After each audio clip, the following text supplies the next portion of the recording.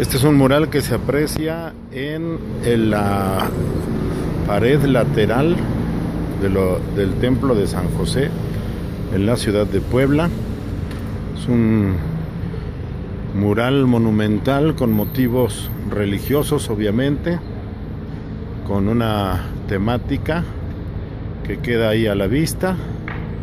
con temas vinculados a la salud, con temas vinculados a la historia de Puebla, con elementos que permiten precisamente en recuperar todos estos valores con una imagen indígena, con una imagen espacial de unos infantes y finalmente con la imagen de la mazorca, indiscutiblemente símbolo mexicano.